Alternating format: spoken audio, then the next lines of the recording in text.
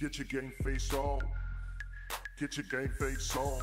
And welcome Get to the game Game face Face on, SFNL game Division on. 2 to 10 netball show. How are you, Hugh? I'm quite well, thank you, Mac. How are you? I'm good, thanks. Um, obviously, a really wet day at the courts on Saturday, so um, some interesting results across the board. Um, but as always, a massive thank you to our sponsors Bendigo Bank Caulfield Park, Sports Performance Tracking, and Swivs Locker. Um, and some news, Hugh. Yes, uh, we got a few milestones uh, from Mordialloc Netball Club, four of them actually. 50 games coming up in this coming round for Brooke Davies of the Div 2 side, Brodie Zealand from Division 5, and the Division 7 pair of Sophie Titcombe and Tilly O'Toole. Well done, ladies. Yeah, so very exciting there from the Mordialloc camp. Um, and also Saturday was um, Bentleigh's Pride Cup. Um, so some really bright colours going on at, on the show court. And what a really good too. day it was. Yeah. It- it- especially given the wet weather, it's good to see a bit of brightness out on the court. Yeah, we had some colours on the goalpost. Um, they were also had the rainbow bibs and socks, um, and even rocking some face paint in the wet conditions, which was amazing to see and um, really great to see the unity that Bentleigh had, and also how passionate they were about Pride Round and um, all that it means to the league. So that was for their Division Four and Eight team. So well done, Bentleigh. And uh, we've had a bit of uh, correspondence from head office uh, that some of the behaviour on the court and also at the side of the court is not really as we would like it at the moment. And uh, look, I'm not going to go into great detail on this, but uh, look, we know a few things are not as we'd like them with shortage of umpires and things like that. All we're saying is for the next three rounds and for the finals, let's worry about celebrating great netball rather than uh, worrying about uh, what's happening at the court and being all shirty with each other. Yeah, so a bit of a call to pull your socks up and let's enjoy the last three, four rounds. Be they there rainbow is. or otherwise. Exactly. Um, so let's start with our recap of results. So, so, so for Division Two, what games were interesting there, Hugh? Well, Heatherton St Kilda City was was a really good one. Um, St Kilda City uh, probably won't play finals. Heatherton are top, uh, and this was close all day. 31-29 was the final margin. Heatherton looked like they'd run away from it uh, with it. Uh, St Kilda City uh, came right back to them in the last quarter, but just couldn't get over the line.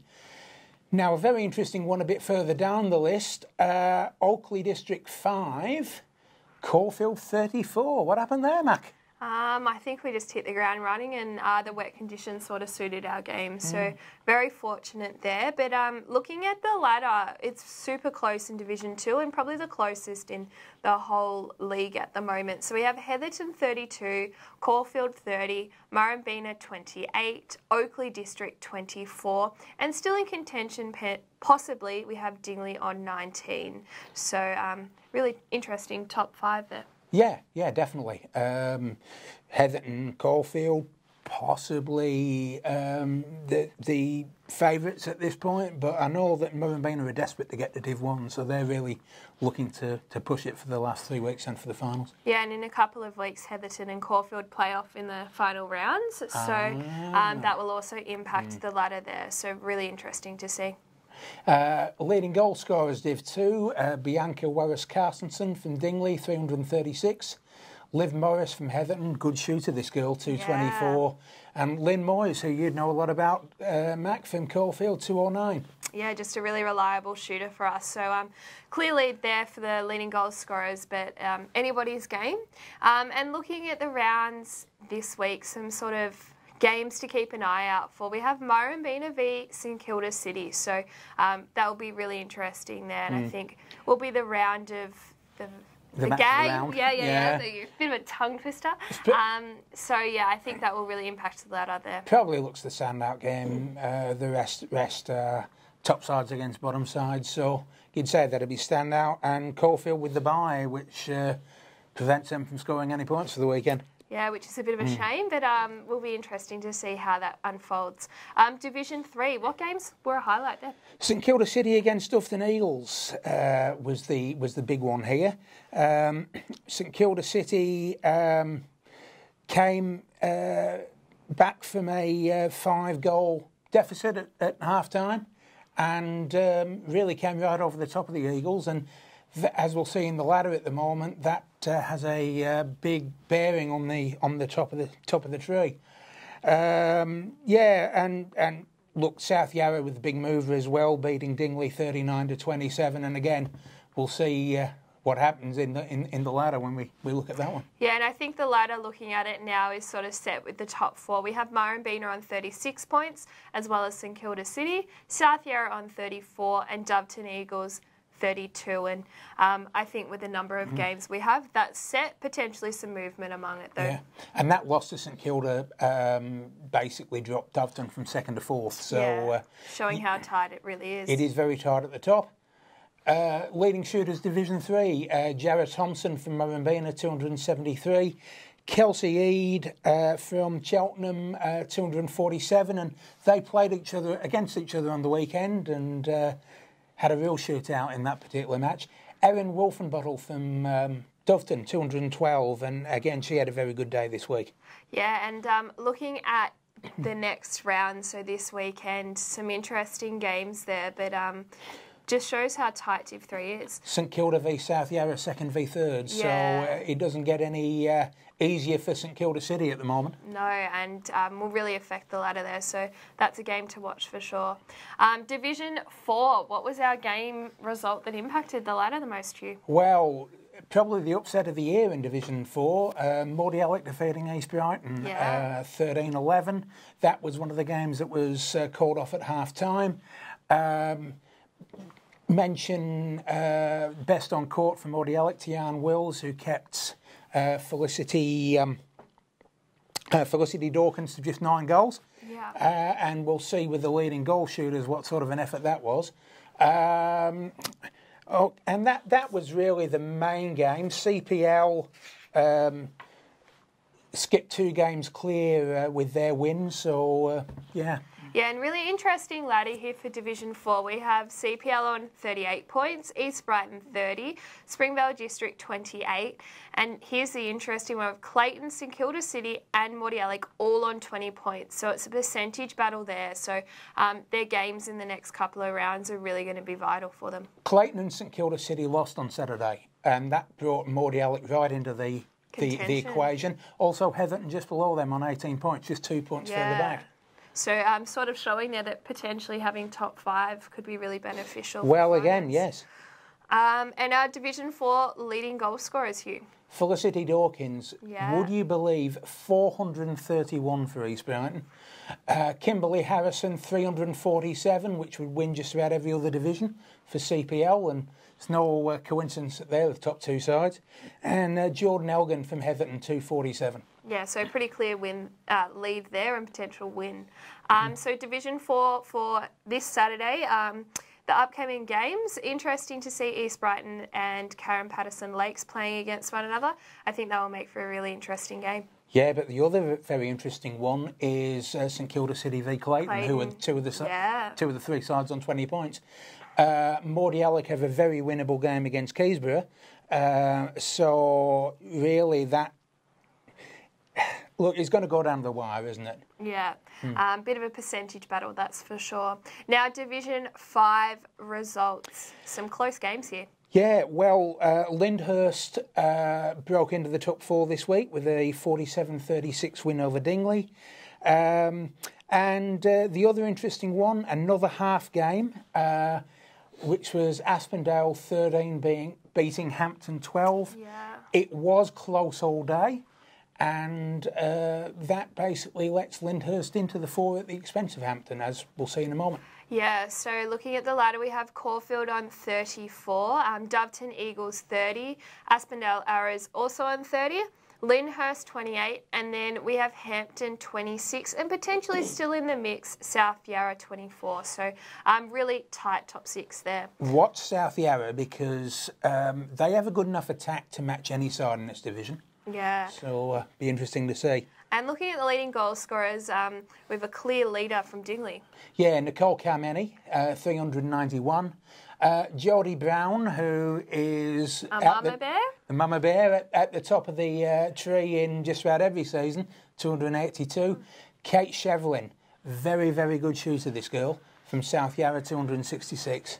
Um, so interesting there. And looking at the Division 5 games for this weekend um, will be really interesting with the tight ladder, but um, some games that could make an upset. Yeah, look, um, South Yarra, Hampton um, have uh, very winnable games.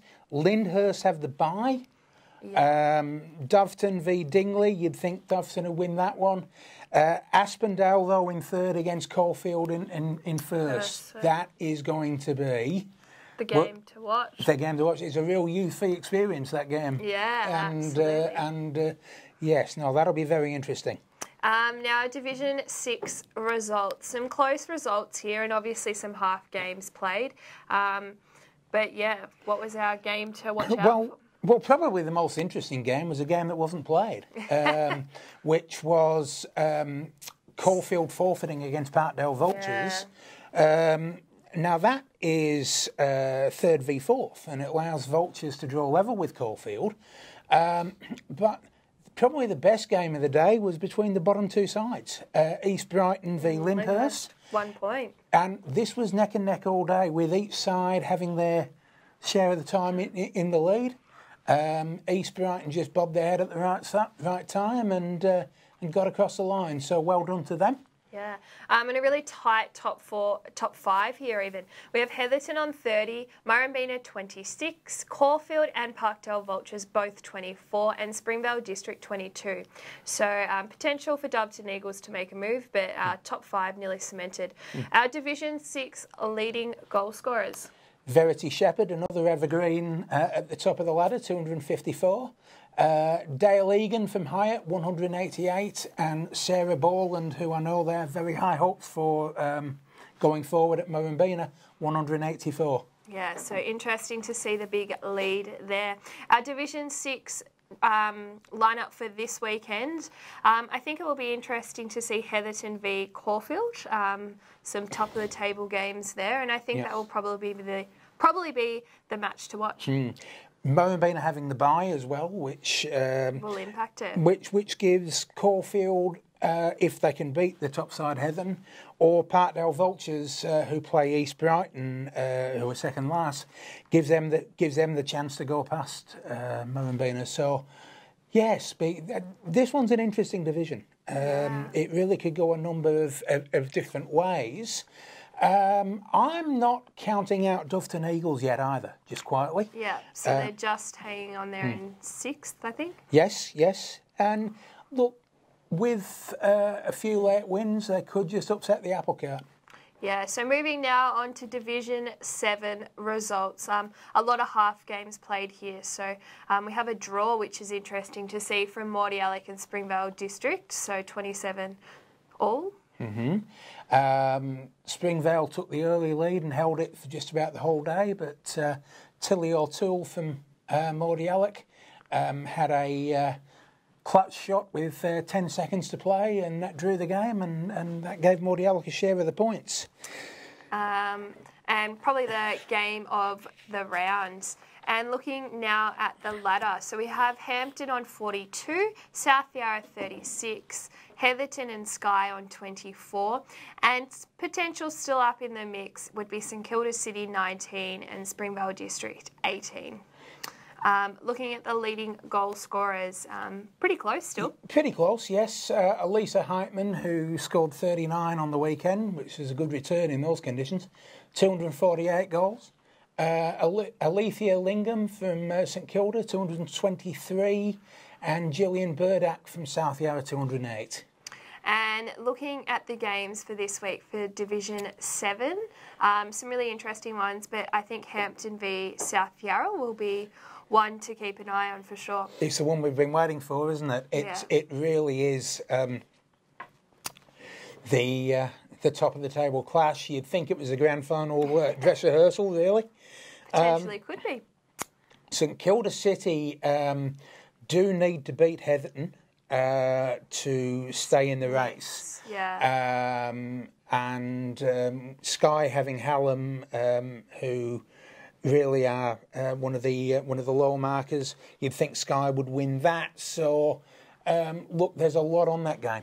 Yeah, and our Division 8 results. So, um, again, some half games and full games, so making a really interesting mix. But one that was interesting and nice and close was the Caulfield Doveton Eagles game, with Doveton Eagles coming away with the win.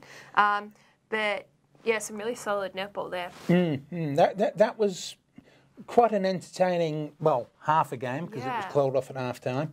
Uh, Dingley, uh, the top side, played at the 10.30 time slot, and Yeah, that sort of accounts for their 67-22 win over Lyndale. Uh, South Yarra absolutely obliterated St Paul's, tw- 28 to 2. Um, Dingley, South Yarra, the runaway leaders in this particular uh, grade, so uh, That's yeah, that's probably to be expected, really. Yeah, and uh, looking at the ladder, we have Dingley 36 points, South Yarra 34, Cheltenham and Dandenong and Doveton Eagles 24. And potentially still in the mix, Frankston Dolphins 18. So, um, real tight battle for fourth there. Looking at the leading goal scorers, um, pretty low scoring for leading goal scorers across the board, but very close still. Yeah, well, a couple of names well known to SFNL watchers at the top of this uh, leaderboard, both from Dingley. Uh, Melissa Raids, 167. Penny Byers Timms, 158. Uh, making out the top three, Jesse Bound from Cheltenham, 156. Uh, again, still a chance to, to uh, take the top gong. Yeah, and looking at um, the games coming up for Saturday for Division 8, um, some really interesting ones to come away with, but um, it'll be interesting to see those teams that are fighting for fourth. Yeah, Doveton have got the uh, difficult one against South, South Yarra. Uh, Cheltenham and Dandenong uh, both have uh, lower place clubs, so you'd think they'd be favourites there. Um, Dingley, again, taking all before them um, against Bentleigh. Really, it's Dingley and South Yarra for the top two, but the, the real race is for the uh, third, fourth, and fifth. Yeah, and looking at Division 9 results here, some really close games across the board for Division 9. But I think one to note Oakleigh District um, v Murrumbeena, and Murrumbeena just coming away with a one goal win there. Um, And that game was interesting to see play, just some really strong netball happening. Well, that game actually, whereas most games got called at half They time. kept playing. Well, that game actually got four minutes into the third Yeah. quarter and then they called it from there. Um, didn't really affect the result. Murrumbeena were in front at half time and in front uh, in the third quarter when it got uh, when the pin got pulled. But the really interesting one here uh, was up. Parkdale against Yeah. Lyndhurst. Now, Lyndhurst have not registered a, a competition point all season. Yeah. Uh, Parkdale are right in the mix, and Lindale took it right up the Parkdale all day. Uh, they um, Vultures took the lead early, but they couldn't shake Lyndhurst off. Yeah. Uh, unfortunately, Lyndhurst just didn't have the, the, the polish of the poise to take the lead in the last quarter and just finished two goals short. But a really fine display by the Lyndhurst girls in this game. Yeah, and looking at the ladder, um, pretty clear top four. We have Hampton 38, Hampton Park 34, and Parkdale Vultures Murrumbeena 32. Um, there might be some changes amongst that, but top four definitely Full set. set, yeah. Um, looking at our leading goal scoring, um, very close still for this division.